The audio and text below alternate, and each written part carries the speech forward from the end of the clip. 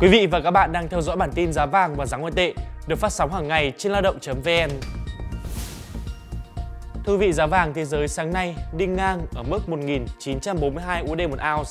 Thị trường vàng đang giữ mức gần như toàn bộ mức tăng trong tuần này và có ít phản ứng trước áp lực lạm phát ổn định được công bố hôm thứ Năm vừa qua. Cụ thể thì theo Bộ Thương mại Mỹ, chỉ số giá tiêu dùng cá nhân PCE cốt lõi đã tăng 0,2% trong tháng trước. Lạm phát đã tăng phù hợp với kỳ vọng của các nhà kinh tế.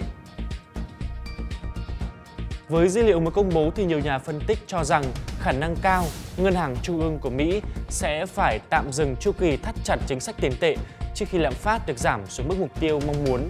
Các khảo sát dự báo rằng Fed sẽ tạm dừng tăng lãi suất tại cuộc họp tháng tới và 50% khả năng sẽ điều chỉnh 25 điểm cơ bản vào tháng 11.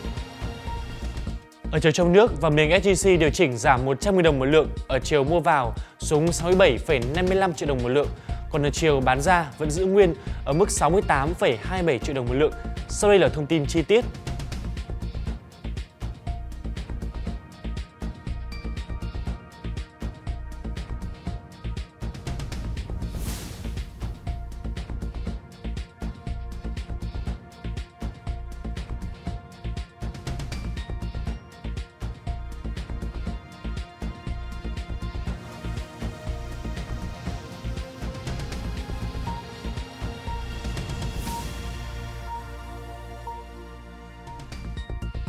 Chuyển sang diễn biến trên thị trường ngoại tệ, đồng USD đã tăng trong phiên giao dịch vừa qua với chỉ số USD Index lên mức kháng cự 103,5 điểm sau khi dữ liệu mới công bố cho thấy một bức tranh trái chiều về nền kinh tế Mỹ.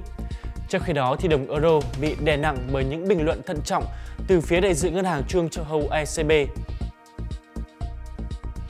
Dữ liệu mới công bố hôm 31 tháng 8 cho thấy lạm phát khu vực đồng tiền chung euro đã giữ ổn định trong tháng này Trước khi đó thì tỷ lệ thất nghiệp ở Đức tăng cao hơn dự kiến trong tháng 8. Thị trường hiện đang định giá khả năng 69% ECB sẽ giữ nguyên lãi suất tại cuộc họp tháng 9. Còn trên thị trường trong nước, Ngân hàng Nhà nước công bố tỷ giá trung tâm của đồng Việt Nam USD hiện ở mức 23.977 đồng. Sau đây là thông tin chi tiết